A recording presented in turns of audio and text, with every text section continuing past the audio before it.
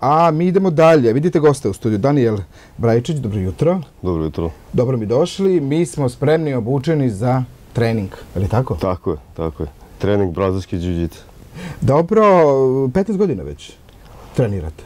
Kažite nam malo o ovoj da, lepoj da. vještini. Pa ja sam započeo ovo treniranje borilačke vještine u judu. E, trenirao sam skoro 20 godina i od odatle, da kažem, iz juda sam prešao i počeo treniram jiu-jitsu. Započeo sam jiu-jitsu u 2009. godine i, ovaj, i od tada evo, do, do danas e, nisam stao. U čemu se ova veština razlikuje? Od ostalih veština, odbrambena je, ili tako? Da, brazilski jiu-jitsu je samo odbrambena veština prvenstveno. E, nastala je kao ideja da se e, slabiji protivnik, e, sitniji protivnik, sistemom poluga, tela i e, ekstremiteta odbrani od jačih i većih protivnika. Kao tako je razvijena skoro 100 godina i danas e, važi za jednu od najpopularnijih e, samoodbranih veština u svetu. E, deca mogu da treniraju zanimljivo u Beogradu kod vas i deca i roditelji mogu zajedno. Naravno, naravno. Ovaj, e, generalno e, postoji sistem treninga za svaki uzrast, to je za svaku uzrastnu kategoriju, tako da svako trenira na svoj način. Kod nas u Gracie Baha mi promovišemo akciju koja se zove Jiu-Jitsu za svakog, tako da deca od treće praktično godine pa nadalje mogu trenirati brazilski Jiu-Jitsu. Također roditelji također mogu učestvovati u, u treninzima sa decom i trenirati o, samostalno u našem centru, da kažem. Centar je u Beogradu, da kažemo, gde je? Tako je. Gracie Baha funkcioniše kao deo Centra brazilske kulture, e, tako da delimo prostorije i e, treniramo u Centru brazilske kulture u zgradi Bigza Bulevaru Vojvodine Mišića, broj 17 u Beogradu. Gledalci mogu da posjete vašu Facebook stranicu, da se interesuju o svemu, da na, na YouTube-u ukucaju šta ih zanima. Kako interesovanje vlada? Pa u, veliko, veliko interesovanje vlada za, za brazilski džiđicu. E, uglavnom, ljudi vezuju brazilski džiđicu za e, MMA sport. To je, ajde kažemo, započelo kao ovaj, poprilično nepopularna, nepopularan izraz borbe u kavezu, ali danas se ovaj, poprilično promovisao i ovaj, sad dosta ljudi već zna o tome.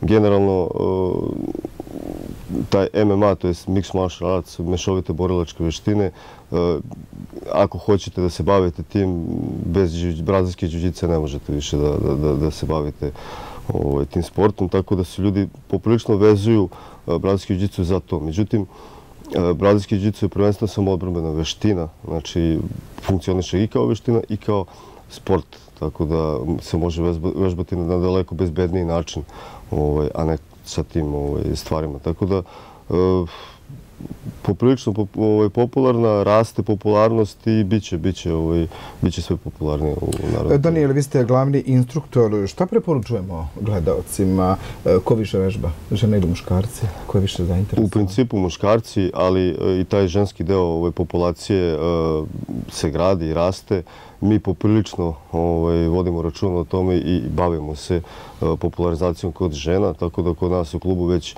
skoro 15 žena vežba, tako da i interesovanje i kod žena isto tako vlada, tako da to je isto jako, jako pohvalno. Svesni smo u kakvim vremenima živimo. Trebali bi da znamo neke osnovne pokrete da se odbranimo?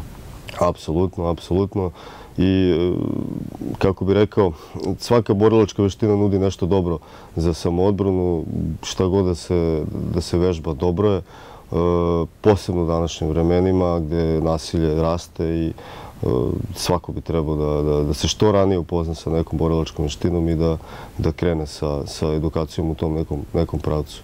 Dajte mi neki savjet e, kako da savladamo nekoga ko nas napadne, gde da ga ciljamo, kako da se ponašamo u tom trenutku? Svaka samoodbrmena veština nudi neke svoje koncepte sisteme.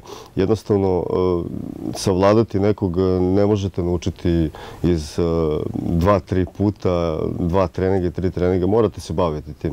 E, kogod vam kaže... treba vremena da savladamo, da se odbranimo? U principu to zavisi od individue, ali ako je neko zainteresovan zaista da, da nauči, E, jako brzo se može savladati. Već nakon, šta znam, mesec, dva ulazite u, u, u sistem, tako da odatle sve kreće ovaj nekim, nekim svojim tokom, tako da to je neki ono, minimalni period e, da se uopšte uđe u neku veštinu koje god je.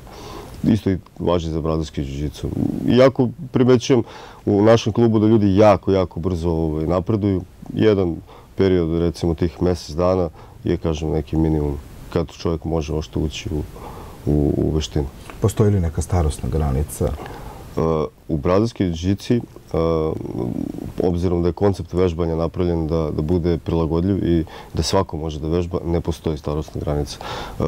Kod nas u, u klubu najstariji vežbač ima 52 godine, a u svetu smo zabeležili da, da vežbači koji tek kreću, praktično kreću i sa 80 godina osnivač, e, jedan od osnivača brazilske džuđice i jedan od e, onih ljudi koji su najzaslužniji za, za razvoj brazilske džuđice e, je imao 92 godine kada je ovaj, vežbao džuđicu, tako da starostna granica praktično ne postoji.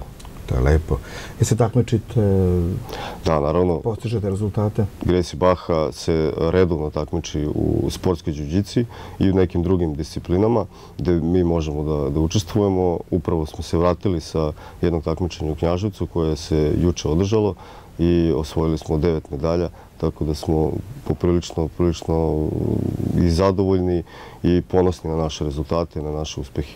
Inače, od svog osnivanja, od, 2000, od oktobra 2013. pa do sada, Gresi Vaha je osvojila skoro 100 medalja, tako da i na to, to je jedna, jedna od stvari na koje smo veoma ponosni.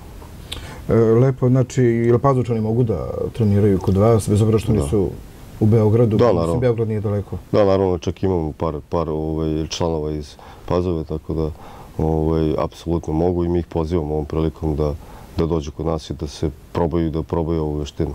Nagradit ćemo gledalce? Tako je, znači mi ćemo pet gledalca i njihovih roditelja nagraditi sa besplatnim trenizima u toku jula i augusta, znači tokom leta, tako da nek se jave i dobit će sve potrebne informacije. Lepo, hvala vam. E, šta zanima roditelji kada dovedu decu? Šta vas najčešće?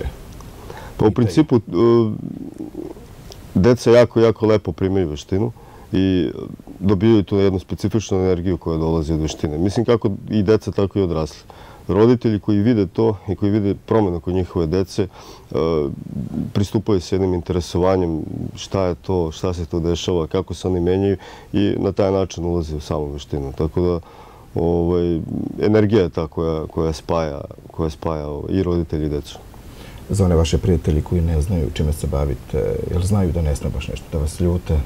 Ne, poprilično, poprilično veština, kao i svaka samodbrana veština koja je zdrava, koja nosi, da kažem, jedan zdrav, jednu zdravu energiju, uh, menja pozitivne ljude. U smislu da u jako, jako ranom periodu ubija agresivnost kod ljudi, jer jednostavno vi morate ostaviti agresivnost na treningu.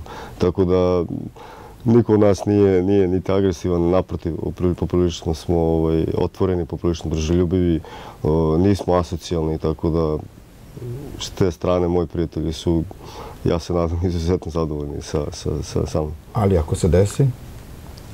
Ako se desi, moraju biti spremni da, da prihvate posljedice.